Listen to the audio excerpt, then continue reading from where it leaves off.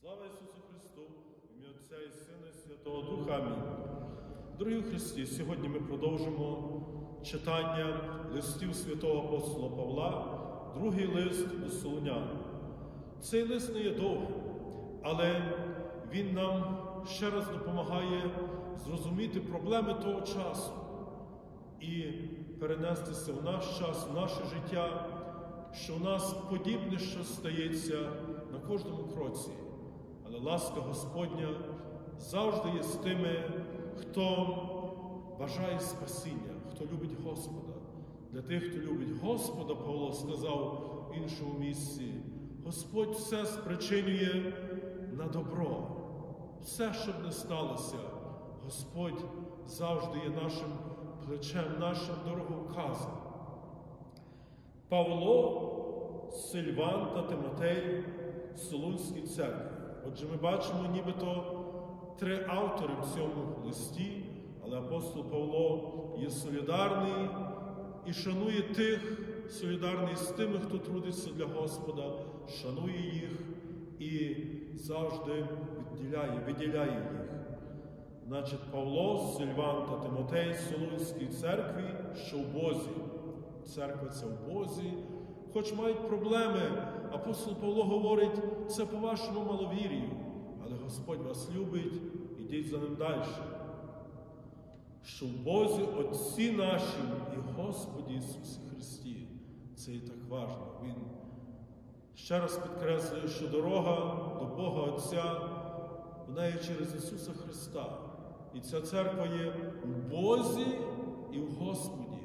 Пам'ятаєте, якщо би двома словами можна змалювати весь старий заповіт, це було би Бог Господь. І тому то на вечірні є прекрасні слова. Протодіякон, диякон або священник виголошує, Бог Господь явися нам, благословенний, хто йде в ім'я Господнє, це і початок утренній. І там є інші вірші. Але саме найголовніше Бог Господь, Бог, який є суддя, який справедливий, жорстокий суддя, Він є Господом милосердним, який післав свого Сина. А новий завіт в двох словах це є Ісус Христос, Ішуа Мешіях, що Бог стоїться Спасителем, стоїться Ісусом. Ішуа це є Спаситель. А Месія це є Мешіях це є помазаник, це Він є. І тому то Бог є Господом старого заповіту, Бог є Господом, що в новому Він пішле, Він сам втілиться, або церква говорить, пішле сина свого єдинородного. І цей син є помазаник, він є Спаситель.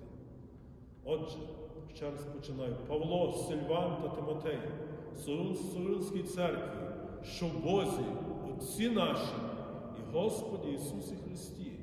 Благодать вам і мир від Бога Отця і Господа Ісуса Христа.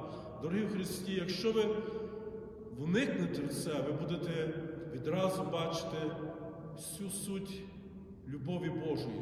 Бог Старого Завіту, Бог Нового Завіту це і той самий Бог, і Він є люблячий, і Він прийшов у світ через стілення, Він стався людиною і післав Духа Свого Святого, щоб завжди був з нами, провадив нас до спасіння.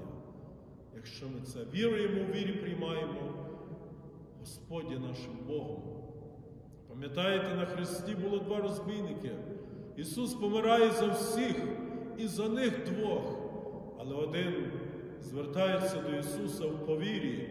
Господи, пом'яни мене, коли прийдеш в царство своє, в царстві своїм. І Він каже, сьогодні ти будеш зі мною в раю. Він запитав, пом'яни мене. А другий, наоборот, не вірив і всяко потурав і говорив, що як Христос сам зійде і нас зведе. Мусимо за вас, брати, повсякчас дякувати Богові, як воно й годиться, бо ваша віра зростає вельми, і любов кожного з вас усіх до інших збільшується. Ось це і зростання в благодаті, збільшення в любові до ближнього. Любити, як Христос любить. З Христа Він розпростертими руками хоче всіх обняти першим словом говорить до свого Отця Небесного, Боже, прости їм, бо вони не знають, що творять. Тож ми самі хвалимося вами по церквах Божих, нашою витривалістю і вірою у всіх переслідуваннях та напастях, які ви переносите. То знак справедливого суду Божого, щоб ви стали гідними Царства Божого, за яке і страждаєте. Така вже Божа справедливість відплатити утисками тим, які утискають вас. А вам, що утисків зазнаєте, відпочинок з нами, коли з'явиться з неба Господь Ісус з ангелами своєї сили, у вогні полум'янім, щоб відплатити тим, які не знають Бога і не коряться Євангелії, Господа нашого Ісуса Христа. Отже, Євангеліє це те, що Ісус помер за грішників, що ми спасаємось вірою в Ісуса, благодаттю. Той розбійник, який був на Христі справи, не мав добрих діл, вірою Він спасся. І як деякі святі отці говорять, що апостол Павло себе зов весь час, він себе рахував за доброго розбійника, який покаявся. І тепер апостол тут говорить, що не бійтеся утисків в цьому житті. Якраз тоді ваша віра провіряється, як би інакше ви думали, знали, що ви є сильні в вірі. Багато з нас говорять, о, я слабий в вірі. Але нам даються випробовування в житті, навіть хвороби, щоб нашу віру ми укріпили. І тоді в тому іншому житті апостол Павло каже, воно для мене є знахідкою, але це життя є несінням Христа, я його вибираю. У тому житті вже Господь, скажете, трудився на моїй ниві. І апостол Павло, маючи такі добрі діла, все рівно він говорить, що надіюсь, що мене Господь далі помилує. Отже, ті, які не приймуть Христа в цьому житті, будуть гонителями Христа. А пам'ятаєте, що Павло гнав християн, Христос себе ототожнив з християнами. Він запитав його, чому ти мене гониш? Це дев'ятий розділ діянь апостольських. Павло запитав, хто ти є? І сьогодні кожен той, хто йде проти правди Божої, він повинен зупинитися і все ж таки запитати, а хто ти є Христе? Хто? Христос сказав, Він є правда, дорога істина життя. Пам'ятаєте розмові з? Повинен все ж таки ще раз запитати, а хто ти є Христе? Добре, я по моїх справах розсудку виглядаю, що я справедливий, але ти помер, ти є правда. Ти помер воскрес, щоб я не помер, щоб я правду не свою, не, не нею жив, як Адам і Єва. Єва посягнула на свою правду. Вона послухала сатани, що будете так, як Бог. Кусіть з того дерева пізнання добра і зла. Отже, апостол Павло говорить ті, що в цьому житті будуть гонимі за правду, це є їх Царство Небесне є, а ті, що гонять, повинні зупинитись і запитати, щоби вогонь їх потім не опалив. І щодо вогню є дуже цікаво, тому що ми знаємо, що ангел стояв і не дозволяв Адамові Єві війти в рай з вогненним мечем. Ми знаємо, що Мойсей бачив, бачив куш, вогонь бачив. Ми знаємо з молитов після причастя Господи, ми читаємо, нехай цей вогонь очистить нас, не спалить нас. Святі Отці говорять, що той самий вогонь буде палючим, спалюючим для грішника, для праведника він буде зігріваючим. Отже, це є щось надзвичайне.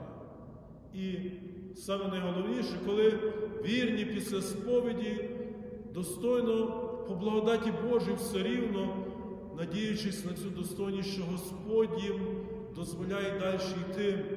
Це є вияв любові Божої на нас. Коли вони підходять до святого причастя, то якраз ця молитва читається, Господи, не опали мене, а зігрій мене.